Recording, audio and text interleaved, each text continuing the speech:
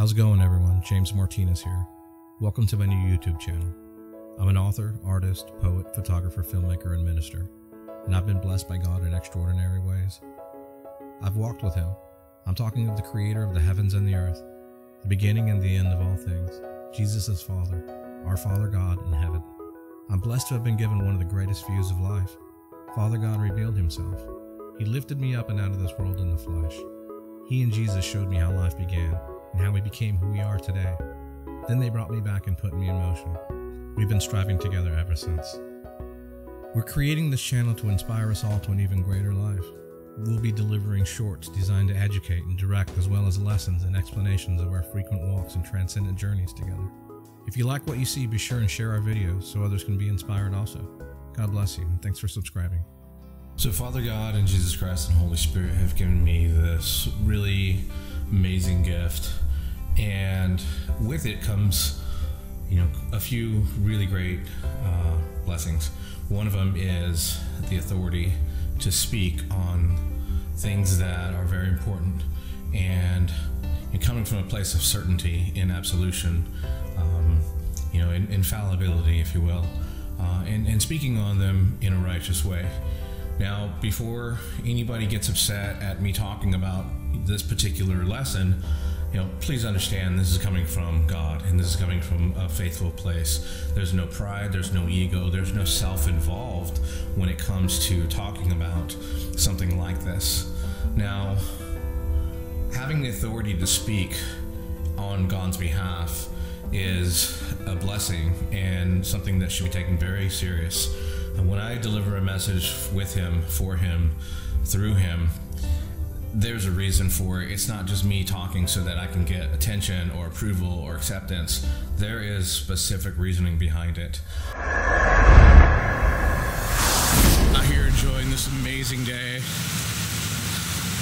God is such an amazing person to bless us with life. Really got to give it up making this video for my new vlog.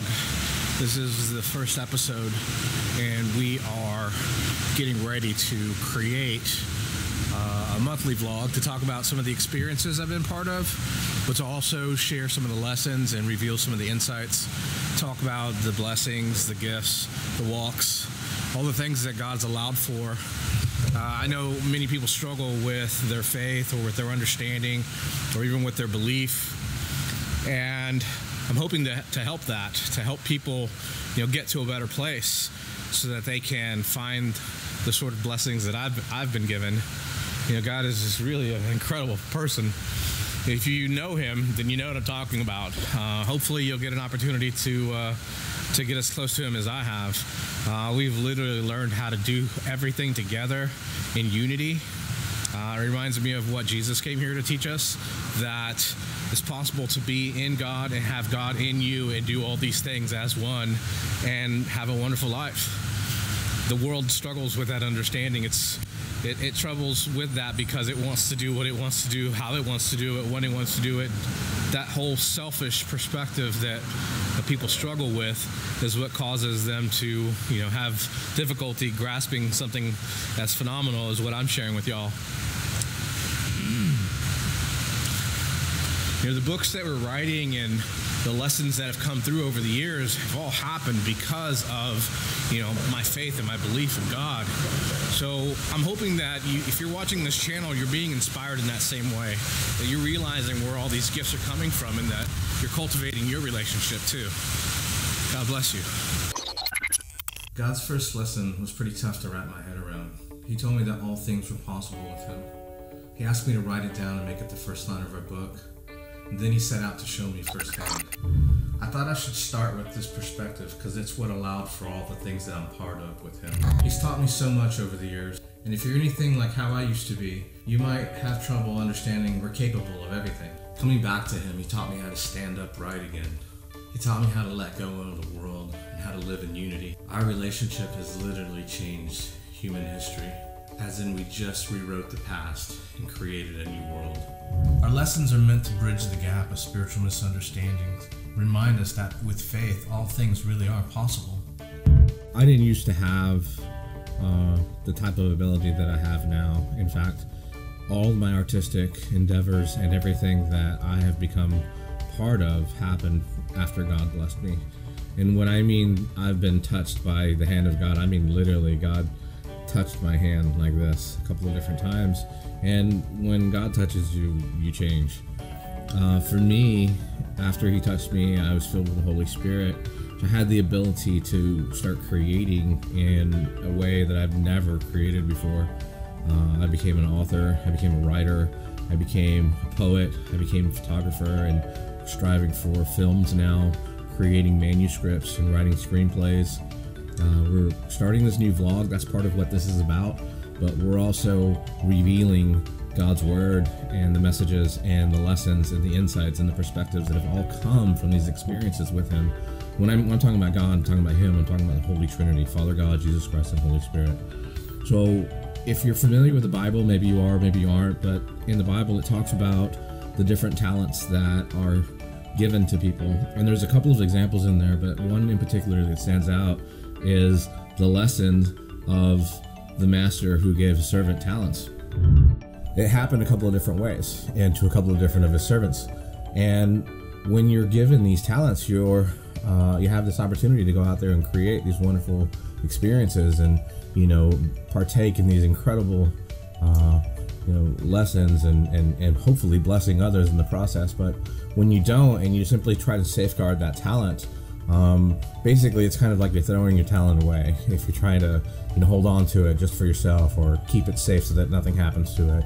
Um, on the other side of that when you take your talent and you turn around and you go out and you invest it and you do that in people and you do that in the gifts that you're creating you're able to go out there and, and, and, bless all kinds of people and you get blessed in the process. And that that's part of what we're doing right now also. You know i give testimony to that the books that we're writing to the messages we're delivering to our walk you know everything that coincides with the experiences that god's putting me through are here so that people will be blessed. Uh, if you've known me for the last few years ever since this has happened we've blessed as many people as we can.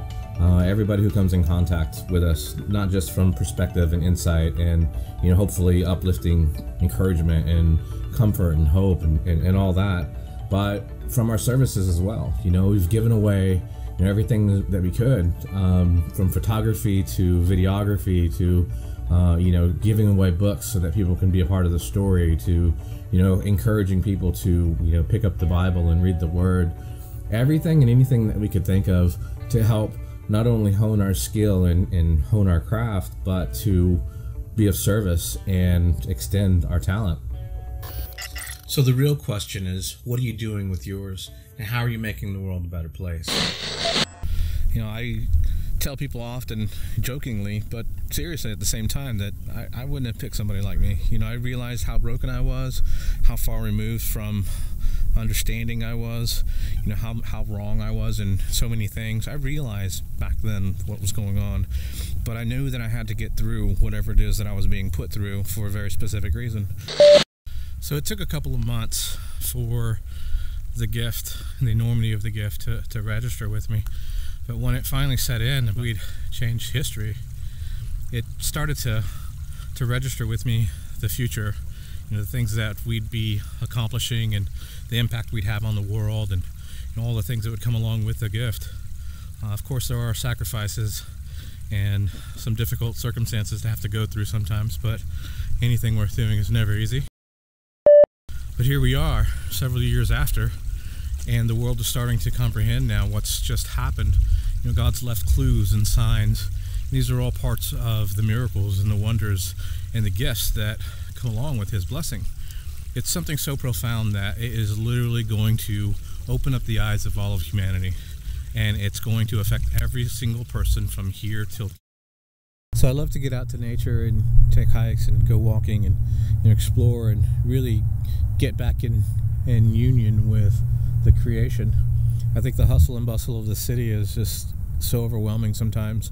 Uh, if you're if you're as sensitive to energy as I am, you feel everything all the time.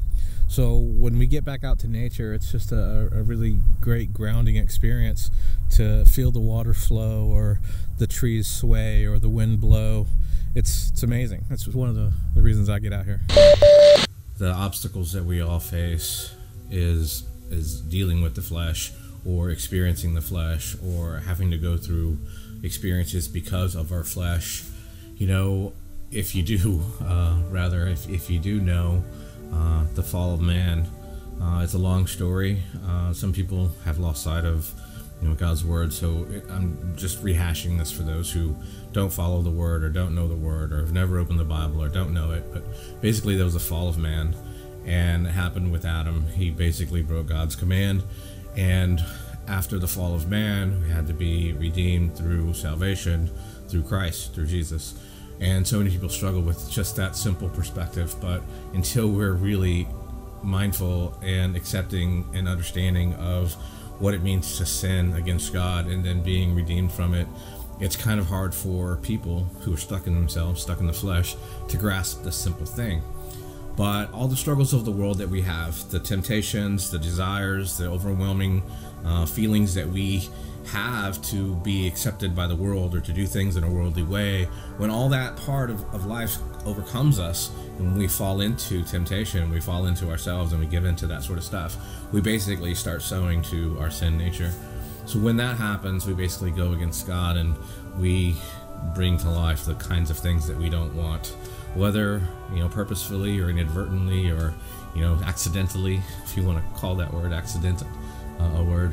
But the truth is, is that we all go through these experiences, and you know, we, when we face, you know, who we are, and and we're finally brought to a place of not only being convicted of our sin, but understanding why we go through those types of things, but ultimately that there is a way to get past all that. When we finally get to that part, then we're also charged with learning how to stand upright and how to walk and how to um, not only deny the flesh, but how to live for for God in a spiritual way.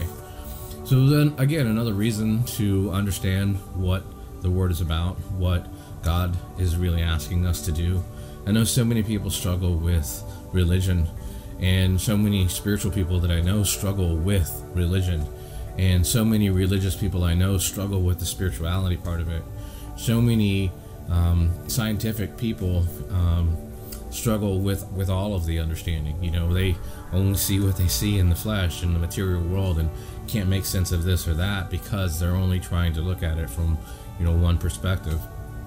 So God asked me to help bring the world to a greater understanding. Since we're in a new world now, He's asked me to help deliver these understandings to help bring people to a greater way so that not only will you have knowing and discernment and understanding, but you'll also be able to apply it into your life and move in a particular way that is pleasing to Him, but also beneficial for your life. You know, since this is my first vlog, I wanted to talk a little about you know my hometown. Um, from Austin, uh, born and raised here. I, I, think originally people ask me where are you from, and I say heaven, but you know Austin's been my hometown since I've been here.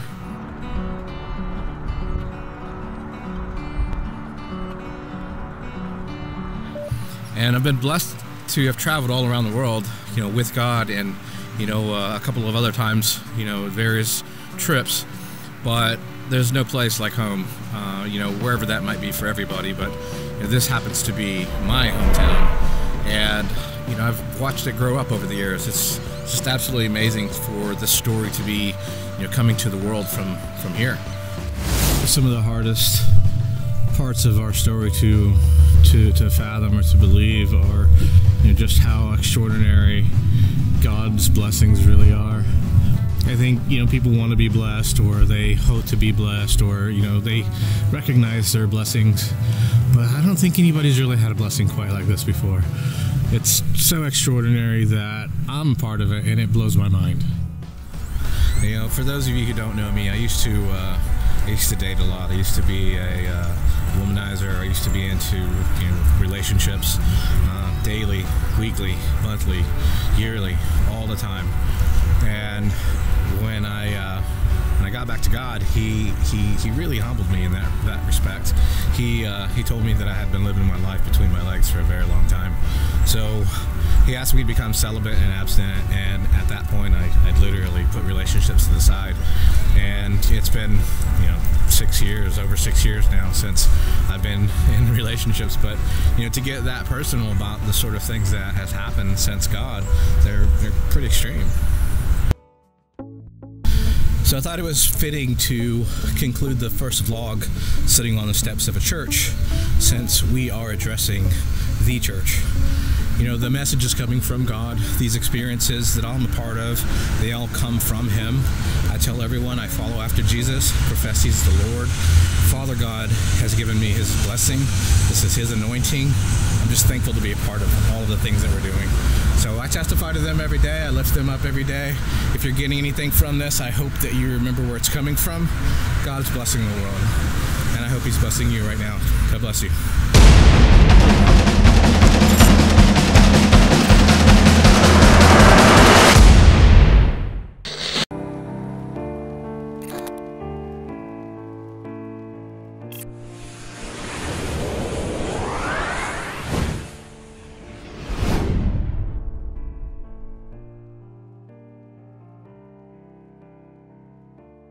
So when I found him, I said, God, you found me.